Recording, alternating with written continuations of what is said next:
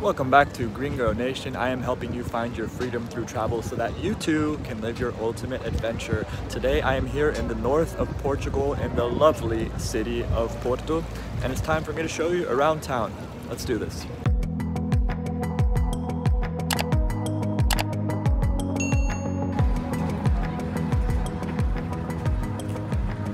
Okay, so first things first, if you're looking for a place to stay here in Porto, just open up a new tab with this video up here and I will walk you through it. So when in Porto, you're gonna be eating a lot of seafood, especially cod, which is their specialty here in Porto. And you might start off the day with one of these things. This is a fried cod ball, so let's give it a go. They know how to do their cod around here. The weather up here in Porto is usually not as nice as it is in Lisbon. In fact, it has been raining quite a lot these past few days, but as you can see, today is a lovely day. Here in Porto, of course, they are known for their port wine, but it's actually not my favorite kind of wine. But I feel like I'm here in Porto, I might as well give it a go. So I'm gonna go do a port wine tour now at a place called Caves Calem to see if they can convince me otherwise about this port wine situation. I wanna like it. And just for you to understand where I am, this is the docks area. I am in Vila Nova de Gaia, which is on this side of the Douro River.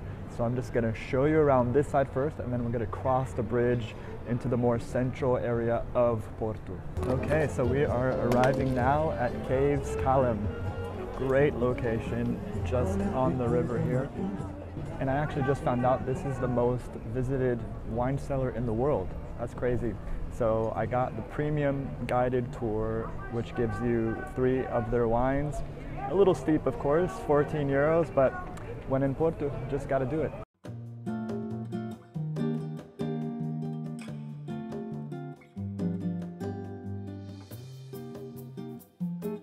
Get ready to walk these steep ass hills here in Porto. The view's gonna be worth it though. So the wine tasting is actually only gonna happen in about 30 minutes. So in the meantime, and one very steep hill later, I'm here at Jardim do Morro, which is an amazing park that offers this beautiful view of Porto. People like to come here during the day and in the afternoon or at sunset to have some beers and and it's definitely not a bad place for that. Check this view out.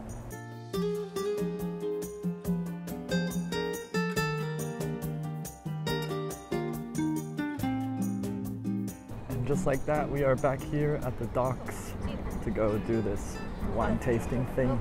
So these are the guys responsible for potentially making me like port wine today.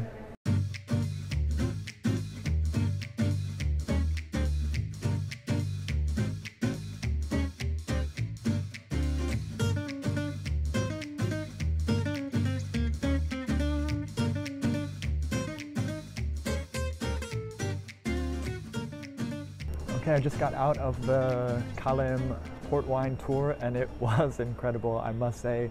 They did their job. Now I can say I'm a port wine drinker. Those guys are classy AF and the tour is really cool, like a lot of multimedia stuff going on and the wines were delicious, I must say. So good job, Calem. You got me liking port wine now. But I also must say I was pretty horrified at the amount of people that leave their tasting glasses on the table. Like you paid for those wines, you should be having them. I wanted to have all of the wines that people left behind, but uh, I gotta pretend I'm mature sometimes. I'm pretty hungry now, so let's go hit a restaurant and I'm gonna try to have some typical northern Portuguese food. Okay, the plan now is to cross this bridge over to the other side of the docks. It's definitely nicer if you come on the top here, but this one is closer now, so that's where I'm headed.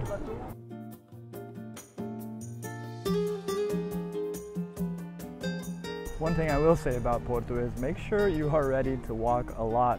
And I'm talking really steep hills and stairs all the time because there's a high part of Porto and there's a low part. So if you're going from one side to the other all the time, it does get a little tiring. That said, there are some pretty cool walking tours that you can do. Um, just talk to your hostel or your hotel and they'll set one up for you. And yeah, all this walking is gonna pay off. I just know it. We're almost at that restaurant. So I'm about to head into Casa Guedes, which was a suggestion from my friend Mel. Obrigado, Melzinha. And let me tell you, Casa Guedes did not disappoint. I had the most delicious sandwich. It was roasted pork, garlic sausage, and a fried egg inside an amazing bun. And I got a little draft beer on the side, and it was only 7.50 euros. So definitely come check out Casa Guedes. And now I'm gonna walk on over to a pretty sweet lookout point.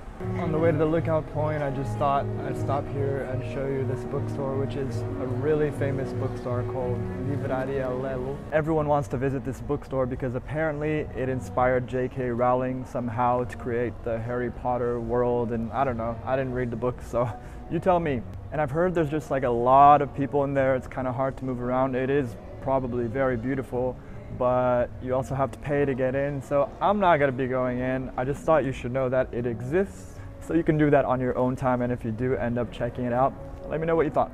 Okay, and we've arrived here at Parque das Virtudes, which is Virtue Park, if you will. Let's go investigate a little further. It seems that the park is pretty big, so I'm just gonna try to find a nice little spot here to get a wonderful view of Porto. Just another wonderful view.